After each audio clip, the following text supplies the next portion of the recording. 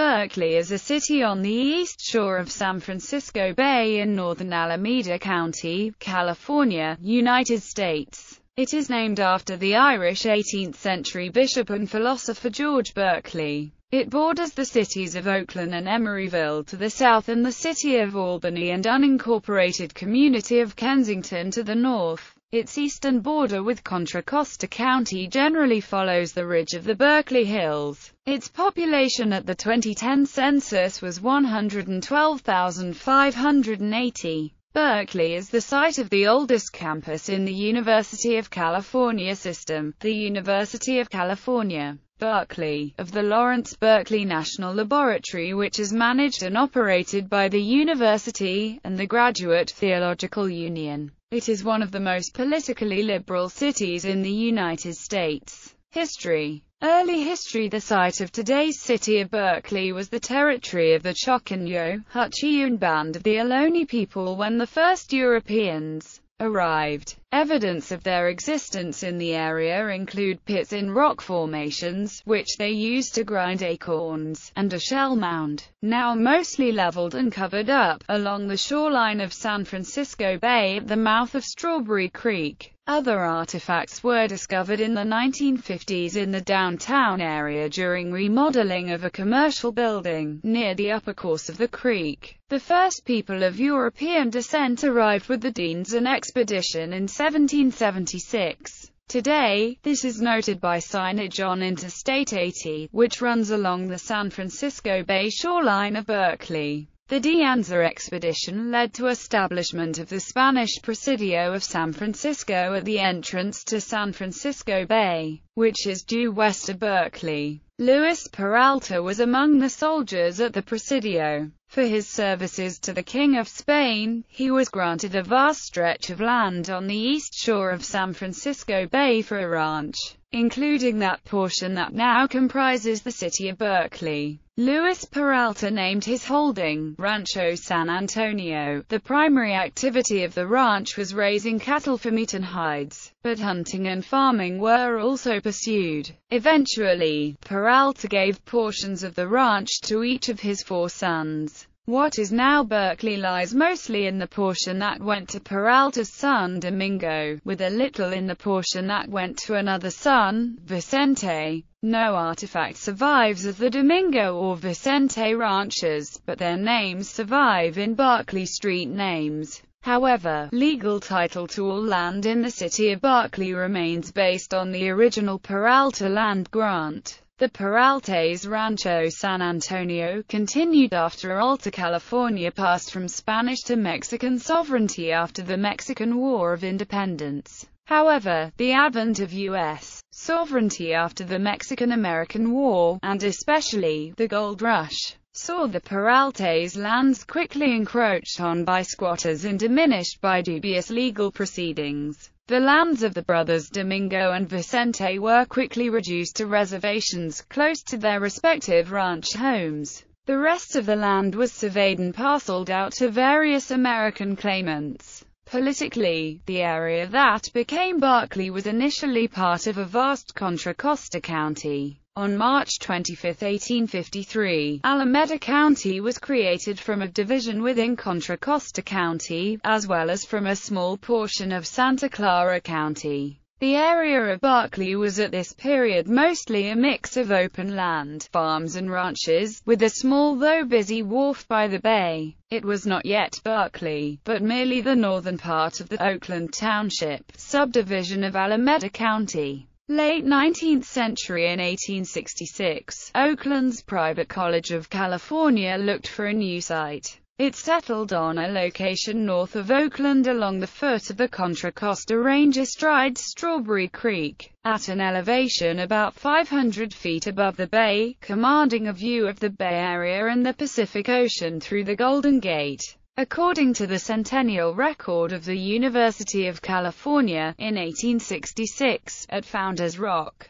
a group of College of California men watched two ships standing out to sea through the Golden Gate. One of them, Frederick Billings, thought of the lines of the Anglo-Irish Anglican bishop George Berkeley. Westward the course of empire takes its way, and suggested that the town and college site be named for the 18th-century Anglo-Irish philosopher. Although the philosopher's name is pronounced Berkeley, the pronunciation of the city's name has evolved to suit American Englishes. Berkeley, the College of California's College Homestead Association, planned to raise funds for the new campus by selling off adjacent parcels of land. To this end, they laid out a Platten Street grid that became the basis of Berkeley's modern street plan. Their plans fell far short of their desires, and they began a collaboration with the state of California that culminated in 1868 with the creation of the Public University of California. As construction began on the new site, more residences were constructed in the vicinity of the new campus. At the same time, a settlement of residences, saloons, and various industries grew around the wharf area called Ocean View. A horse car ran from Temescal in Oakland to the university campus along what is now Telegraph Avenue.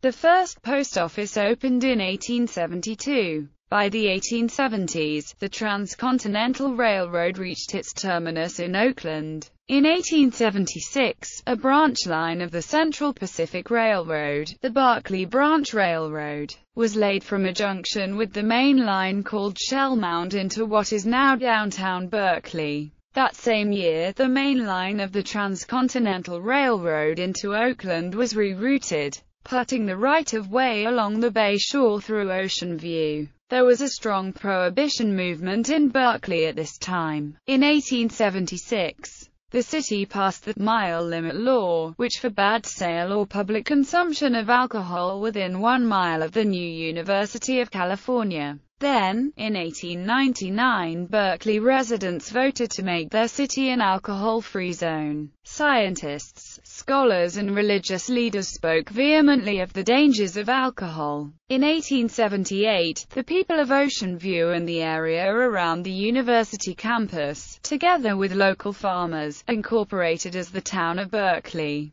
The first elected trustees of the town were the slate of Dennis Kearney's Workingmen's Party who were particularly favored in the working-class area of the former Ocean View, now called West Berkeley. The area near the university became known for a time as East Berkeley. The modern age came quickly to Berkeley, no doubt due to the influence of the university. Electric lights were in use by 1888. The telephone had already come to town. Electric streetcars soon replaced the horse car. A silent film of one of these early streetcars in Berkeley can be seen at the Library of Congress website. A trip to Berkeley, California, early 20th century. Berkeley's slow growth ended abruptly with the Great San Francisco earthquake of 1906. The town and other parts of the East Bay escaped serious damage from the massive temblor, and thousands of refugees flowed across the bay. In 1908, a statewide referendum that proposed moving the California state capital to Berkeley was defeated by a margin of about 33,000 votes.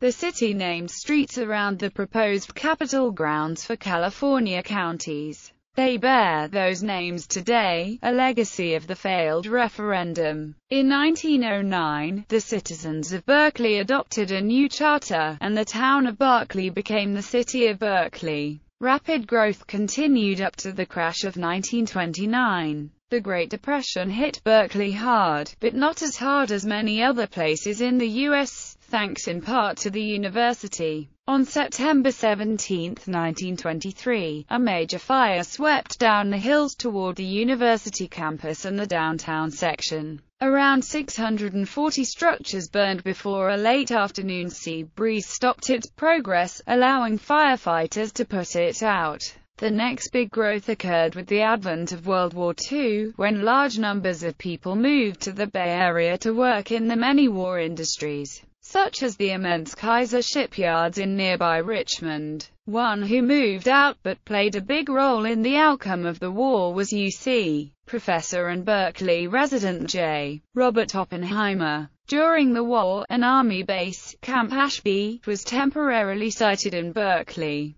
The element berkelium was synthesized utilizing the 60-inch cyclotron at UC Berkeley, and named in 1949, recognizing their university, thus also placing the city's name in the list of elements. 1950s and 1960s During the 1940s, many African Americans migrated to Berkeley. In 1950, the Census Bureau reported Berkeley's population as 11.7% black and 84.6% white. The post-war years brought moderate growth to the city, as events on the UC campus began to build up to the recognizable activism of the 60s. In the 1950s, McCarthyism induced the university to demand a loyalty oath from its professors, many of whom refused to sign the oath on the principle of freedom of thought. In 1960, a U.S. House committee came to San Francisco to investigate the influence of communists in the Bay Area. Their presence was met by protesters, including many from the university. Meanwhile, a number of UC students became active in the civil rights movement. Finally, in 1964, the university provoked a massive student protest by banning distribution of political literature on campus. This protest became the free speech movement. As the Vietnam War rapidly escalated in the ensuing years, so did student activism at the university particularly that organized by the Vietnam Day Committee. Berkeley is strongly identified with the rapid social changes, civic unrest, and political upheaval that characterized the late 1960s. In that period, Berkeley, especially Telegraph Avenue, became a focal point for the hippie movement, which spilled over the bay from San Francisco. Many hippies were apolitical dropouts, rather than students but in the heady atmosphere of Berkeley in 1967 to 1969 there was considerable overlap between the hippie movement and the radical left. An iconic event in the Berkeley 60s scene was a conflict over a parcel of university property south of the contiguous campus site that came to be called People's Park. The battle over the disposition of People's Park resulted in a month-long occupation of Berkeley by the National Guard on orders of then-Governor Ronald Reagan. In the end, the park remained undeveloped, and remains so today. A spin-off, People's Park Annex, was established at the same time by activist citizens of Berkeley on a strip of land above the Bay Area Rapid Transit subway.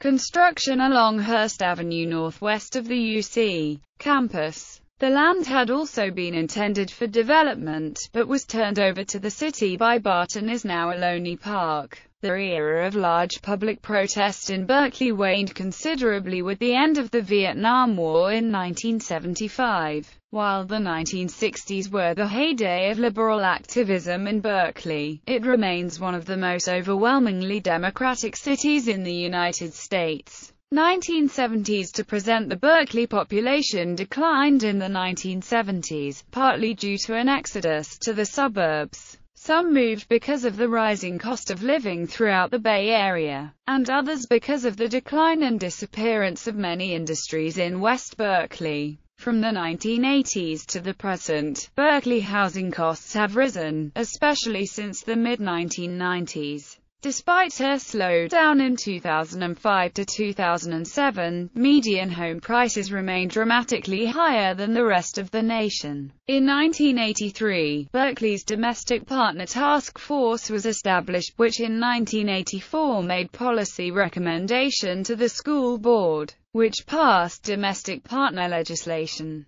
The legislation became a model for similar measures nationwide. In the 1990s, public television's Frontline documentary series featured race relations at Berkeley's only public high school, Berkeley High School. In 2006, the Berkeley Oak Grove protests began protesting construction of a new sports center annexed to Memorial Stadium at the expense of a grove of oak trees. On the UC campus, the protest ended in September 2008 after a lengthy court process. In 2007-8, Berkeley received media attention due to demonstrations against a Marine Corps recruiting office in downtown Berkeley and a series of controversial motions by Berkeley's City Council regarding opposition to Marine recruiting. During the fall of 2010, the Berkeley Student Food Collective opened after many protests on the UC Berkeley campus due to the proposed opening of the fast food chain Panda Express.